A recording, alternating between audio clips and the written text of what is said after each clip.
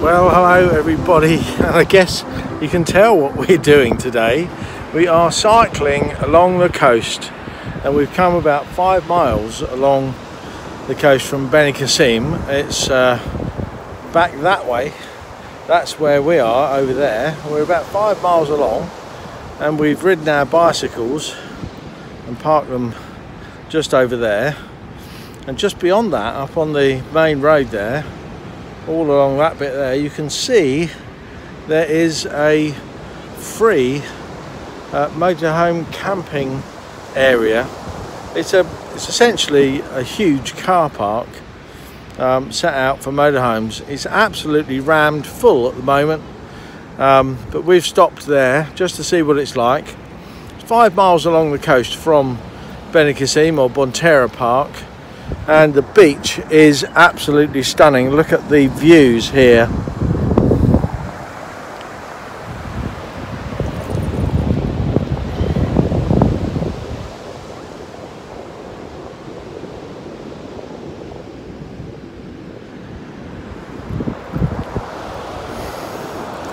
It's all very very nice indeed. Um, the breeze is a little bit cold um, so we're thinking we should have really worn gloves to keep our hands warm while we're stretched out on the got our hands bare on the bicycle. But um, we're doing okay. It's not too bad. It's a bit cloudy today. You might be able to see that up there.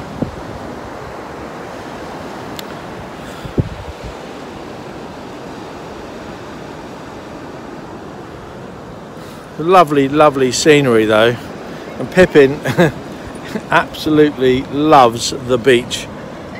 Here, let's have a little look at what she's doing. Pips! Pips, come on! Good girl. Good girl. Where's mummy?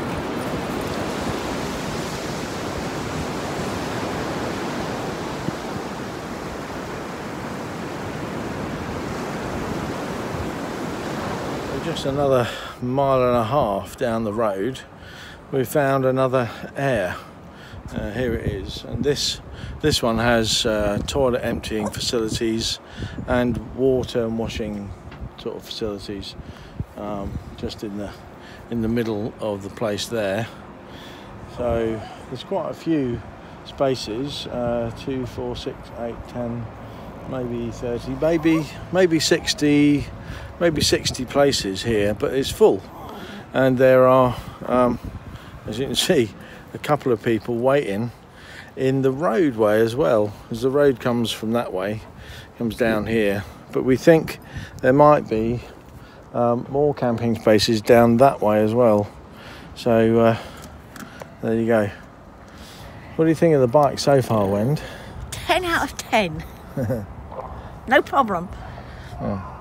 What do you think, Pippin? You've been a very happy girl today. Here's Pippin in a basket. Look. She wants to get out now we've stopped. Mm. We've given her yes. today because it's a bit chilly. Yeah. We've given her an extra blanket. Yes. Um, so the no wind which has which has yeah. made quite a big difference actually. Um, in that she's not squealing so much. I think last time when we came out, she was squealing quite a bit, like crying. Um, and we thought it was because she was in the basket, but maybe it was because she was cold. She does get quite cold, doesn't she? Yes.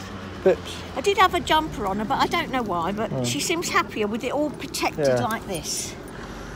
So we're going to sort of move on and see what else we can find. So we're cycling on our way back.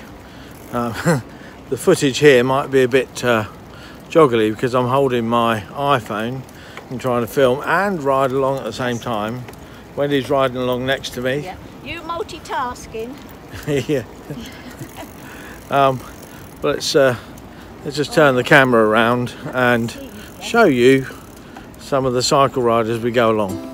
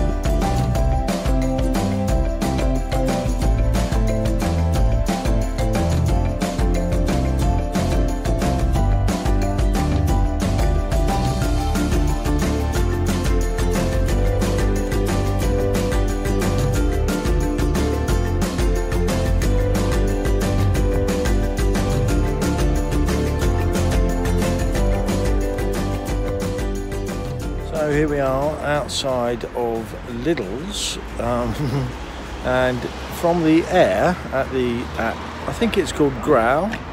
Um, it is 6.6 miles to the car park at Lidl's, and uh, it's only taken us mm, probably half an hour uh, to get from down there to here. Very, very nice cycle paths, as you will have seen. Wendy's now gone in to do a bit of shopping, so uh, yeah, we've had a nice day out. And Pippin wants a cuddle now, don't you, Pips? Mm.